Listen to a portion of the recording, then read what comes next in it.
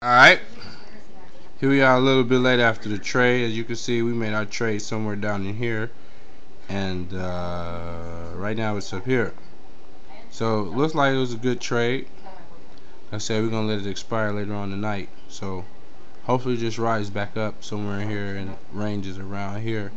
And closes at about 34.10, 34.15. So, looks like it's going to be a good trade. I'll get back to you later on. Let y'all know what happened. Sorry my TV's so loud. Please forgive me.